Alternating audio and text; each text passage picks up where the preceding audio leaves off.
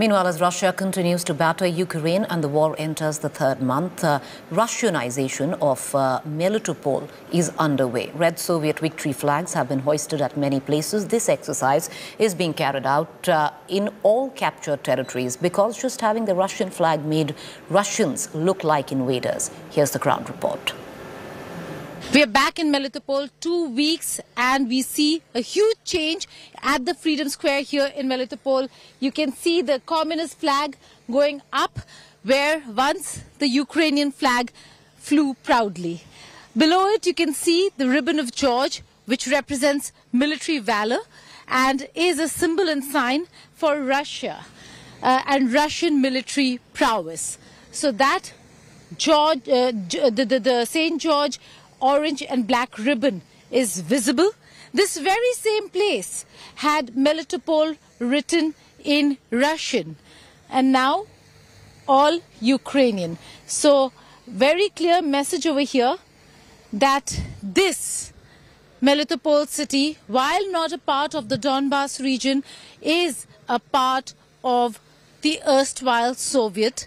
And so the people over here who are of Russian origin, many of them, are not only being asked to, uh, to, to show their loyalty to the Russian flag, which flies right here on the, uh, atop the city center. Earlier it was the cultural center, the Taras Shevchenko Center.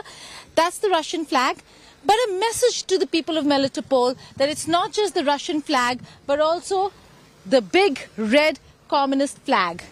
That's going up to show that this place was a part of Russia and in all probability will be a part of Russia. With duty journalist in Melitopol, Geeta Mohan for India Today.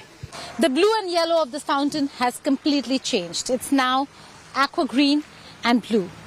The colors of Ukrainian flag absolutely removed from this entire Melitopol area. That's the Freedom Square and you can hear the Russian songs, Russian national songs, victory songs, military songs. Katyusha playing right behind me, uh, a song that has been an inspiration for all the officers who have been here and who have been fighting. Melitopol certainly does not seem like it is going to go back to Ukraine.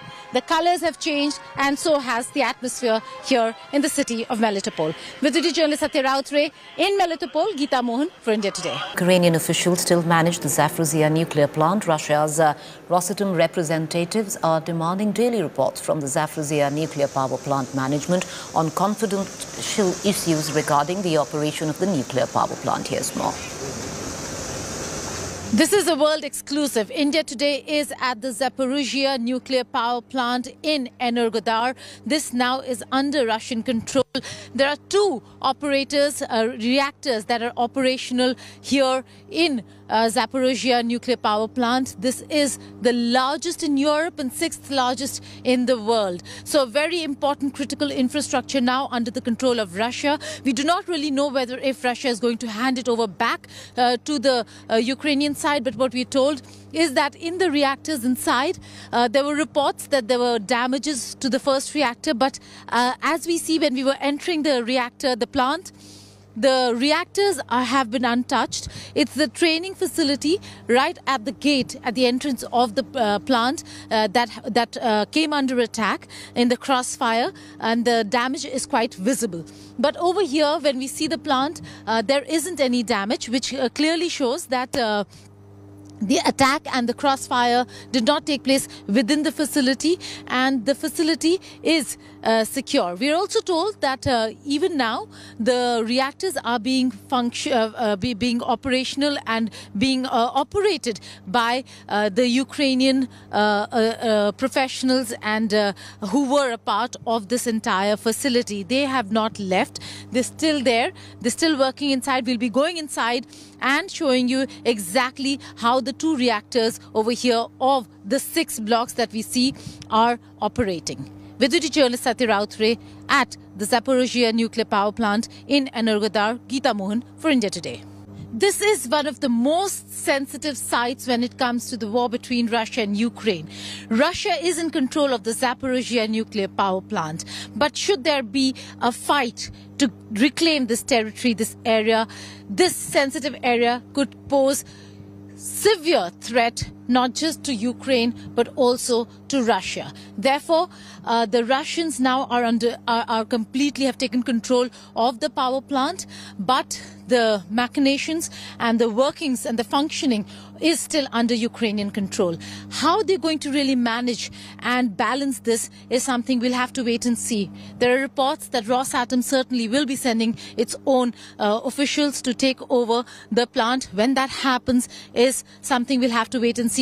We came from the other side and if Satya can show us uh, the, the entrance is where a training center was completely caught uh, uh, uh, under fire and uh, was destroyed.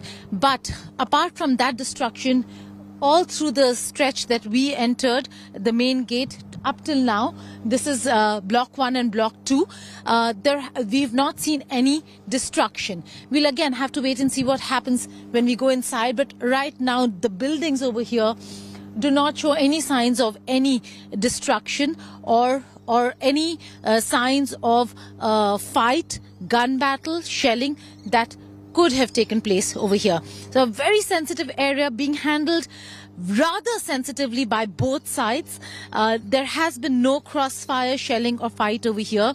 And one only hopes that it remains this way whether if Zaporizhia nuclear power plant remains with Ukraine or goes to Russia. The fact that it is sensitive and it could pose great and grave danger is the most important point over here.